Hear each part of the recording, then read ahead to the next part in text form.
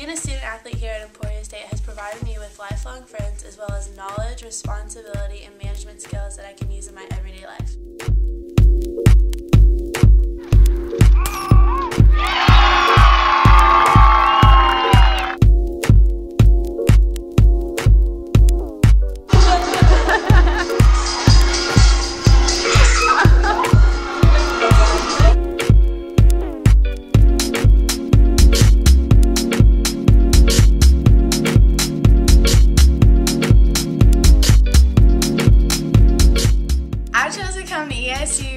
The great business school here, and soccer was just an extra bonus.